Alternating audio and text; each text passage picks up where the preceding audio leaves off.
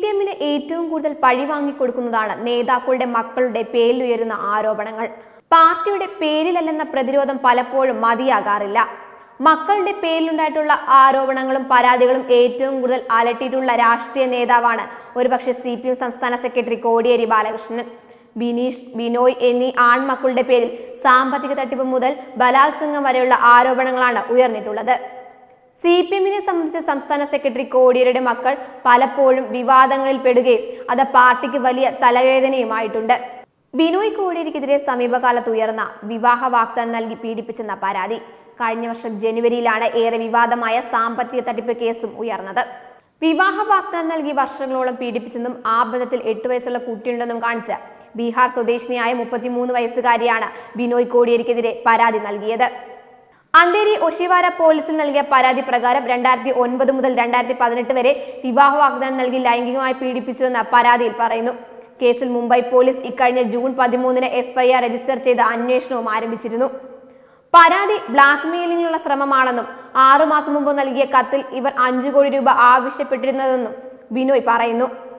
അവരയച്ച കത്തിൽ കണ്ണൂർ ഐ ജിക്ക് പരാതി നൽകിയിട്ടുണ്ട് ഇതിന്റെ അന്വേഷണം നടക്കുന്നതിനിടെയാണ് പുതിയ കേസെന്നും ബിനോയ് പറയുന്നു യുവതിയുടെ പരാതിയിൽ പറയുന്നത് ഇങ്ങനെയാണ് ദുബായിൽ ഡാൻസ് ബാറിൽ ജോലി ചെയ്തിരുന്ന കാലത്ത് അവിടുത്തെ സ്ഥിരം സന്ദർശകനായിരുന്നു ബിനോയ് തുടർന്ന് പരിചയപ്പെട്ടു പിന്നീട് ഫോൺ വഴിയാണ് കൂടുതൽ പരിചയപ്പെടുന്നത് ജോലി ഉപേക്ഷിച്ചാൽ തന്നെ വിവാഹം കഴിക്കാമെന്ന് വാഗ്ദാനം നൽകി ബിനോയുമായുള്ള ബന്ധത്തിൽ രണ്ടായിരത്തി ഒൻപതിൽ ഗർഭിണിയാവുകയും മുംബൈയിൽ എത്തുകയും ചെയ്തു വിവാഹം കഴിക്കുമെന്ന് തന്റെ മാതാപിതാക്കൾക്കും ഉറപ്പു നൽകിയ ബിനോയ് രണ്ടായിരത്തി പത്തിൽ അന്ധേരി ഫ്ളാറ്റ് വാടകയ്ക്കെടുത്ത് താമസിപ്പിച്ചു എല്ലാ മാസവും പണം അയച്ചു തരികയും ബിനോയ് അവിടെ വന്നു പോവുകയും ചെയ്തിരുന്നു രണ്ടായിരത്തി പതിനഞ്ചിലാണ് ഒഴിവാക്കാൻ ശ്രമം തുടങ്ങിയത് രണ്ടായിരത്തി പതിനെട്ടിൽ ബിനോയ് വിവാഹിതനാണെന്ന് മനസ്സിലാക്കി ഇത് ചോദിച്ചപ്പോൾ ഭീഷണിപ്പെടുത്തി ബിനോയ് വിവാഹിതനും രണ്ട് മക്കളുടെ പിതാവാണെന്നും അറിഞ്ഞതിനു ശേഷമാണ് പരാതി നൽകിയത് ഐ പി സി സെക്ഷൻ മുന്നൂറ്റി എഴുപത്തി ആറ് അഞ്ഞൂറ്റി നാല് അഞ്ഞൂറ്റി ആറ് എന്നീ വകുപ്പുകളാണ് ബിനോയ് കോടിയേരിക്കെതിരെ പോലീസ് ചുമത്തിയിട്ടുള്ളത് കേസിൽ ബിനോയ് മുൻകൂർ ജാമ്യം നേടിയിരുന്നു യുവതിയുടെ പരാതി പരിഗണിച്ച് മുംബൈ ഹൈക്കോടതി ബിനോയ് കോടിയേരിയോട് ഡി എൻ എ ടെസ്റ്റിന് ഹാജരാകാൻ ആവശ്യപ്പെടുകയായിരുന്നു ഇതിനെ തുടർന്ന് ഇക്കഴിഞ്ഞ മുപ്പതിന് മുംബൈ ജെ ജെ ഹോസ്പിറ്റലിൽ വെച്ച് ബിനോയിയുടെ ഡി എൻ എ പരിശോധന നടത്തുകയും ചെയ്തു ഇനിയുള്ള മണിക്കൂറുകൾ ബിനോയ്ക്ക് നെഞ്ചെടുപ്പിന്റെ സമയമാണ് ഡി എൻ എ ടെസ്റ്റ് പോസിറ്റീവാണെങ്കിൽ മുൻകൂർ ജാമ്യം റദ്ദാക്കും ബിനോയ് കോടിയേരി ജയിലിലാകും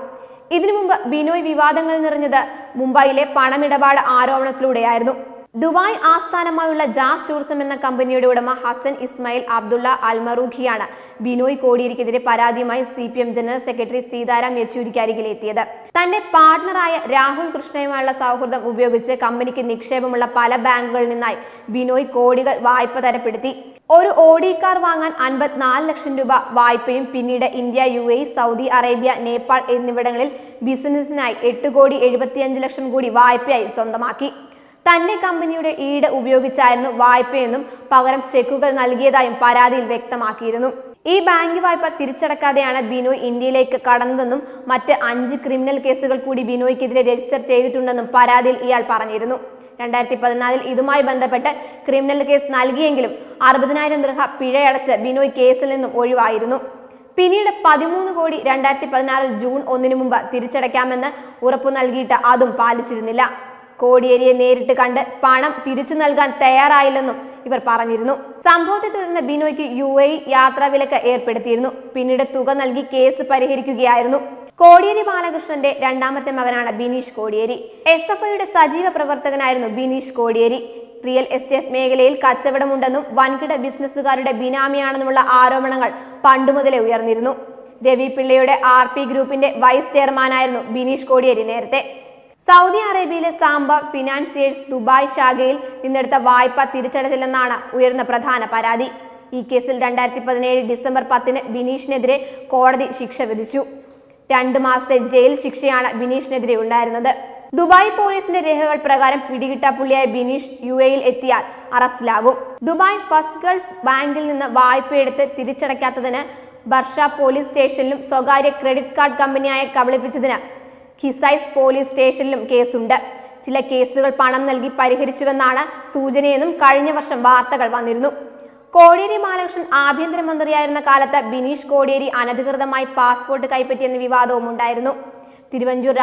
ആയിരുന്നു ഈ ആരോപണം ഉന്നയിച്ചത് എസ് എഫ് ഐ കാലത്ത് രണ്ടായിരം മുതലുള്ള ബിനീഷിന്റെ കേസുകൾ പിൻവലിച്ചതും വലിയ വിവാദമായിരുന്നു രണ്ടായിരത്തി ഒന്ന് സെപ്റ്റംബറിൽ ജനറൽ ആശുപത്രി ജംഗ്ഷനിൽ വെച്ച് കന്റോൺമെന്റ് എസ് ഐ കൃഷ്ണൻകുട്ടിയെ ആക്രമിച്ച് കൊലപ്പെടുത്താൻ ശ്രമിച്ച ശേഷം ജീപ്പ് കത്തിച്ച കേസ് രണ്ടായിരത്തി രണ്ടിൽ എസ് എഫ് ഐ സെക്രട്ടേറിയറ്റ് മാർച്ചിനിടെ വഴിയാത്രക്കാരനായ പേരൂർക്കട മണ്ണാമൂല സ്വദേശി കിരണിനെ വെട്ടിപ്പരിക്കേൽപ്പിച്ച കേസ് എന്നിവയാണ് ഇടത് സർക്കാർ അധികാരത്തിലിരിക്കെ പിൻവലിച്ചത് പുത്രദോഷം കൊടിയേറുമ്പോൾ കോടിയേരി ബാലകൃഷ്ണൻ ധർമ്മസങ്കടത്തിലാണ് ആൺമക്കൾ കാരണം അനുഭവിക്കുന്ന മനോവ്യത ഇദ്ദേഹത്തിന് പറയാനാകില്ല